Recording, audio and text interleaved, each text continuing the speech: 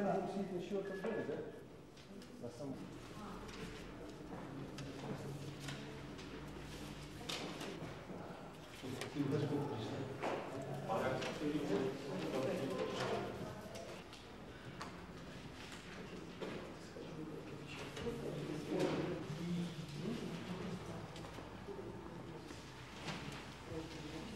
Я думаю, что усиление безопасности связано прежде всего с военными действиями в Чечне.